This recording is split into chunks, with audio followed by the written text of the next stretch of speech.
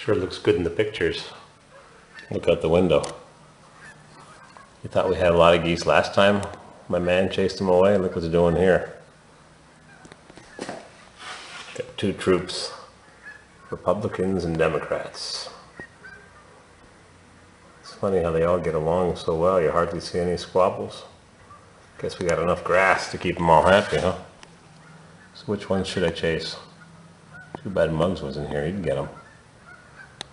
Ah, they're pooping like crazy. Oh, there goes a couple guys squabbling. Could open the door.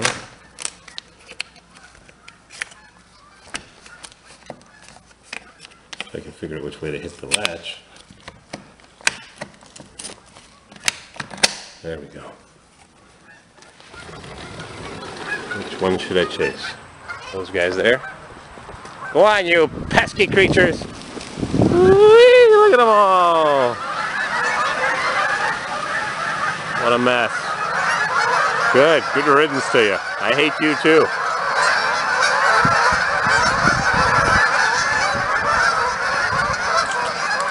Swim away, you cretins, before I get my shotgun and roast you for Thanksgiving. I'll put you in the oven and I won't give you back your feathers and I won't turn the heat on. How do you like that? What a squawking bunch of little creatures. Swim away. We don't need you. You just poop everywhere. All right. I got to go back inside and fix the instant on-demand hot water. One element's not working. I got my VOM, my voltage ohm meter. I just read a good article in Fine Homebuilding how to use it. oh, definitely one of the things I'm less good at. Electricity. Oh, look at this. Telephone wire. Electrical wire.